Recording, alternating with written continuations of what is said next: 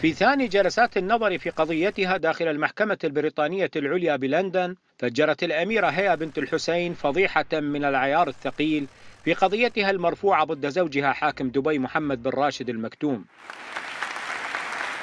الوثائق والأدلة وإفادات الشهود التي قدمتها هيا للمحكمة تثبت أن بن راشد أراد تزويج ابنتها القاصر جليلة من أحد حكام الخليج وهو ذات السبب الذي دعا الشيخ لطيفة بنت محمد بن راشد إلى الهرب سابقا قبل إعادتها قسرا إلى الإمارات My name is Latif Al Maktoum. My father is the Prime Minister of UAE and uh, the ruler of Dubai, Mohammed bin Rashid Saeed Al Maktoum. My father's right hand man put me in prison under my father's orders, and then his uh, all his CID guys. Yeah, they, they put me in prison and they tortured me. Basically, one guy was holding me while the other guy was beating me.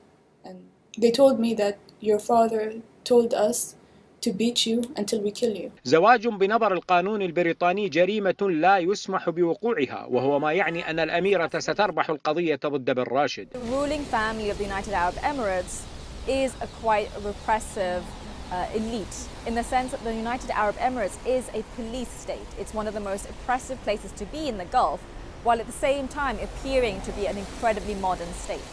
المفاجأة أن هذا الحاكم لم يكن سوى حمد الخليفة طاغية البحرين البالغ من العمر 69 عاما لكنه لا يتورع من الزواج من بنت عمرها 15 عاما فقط.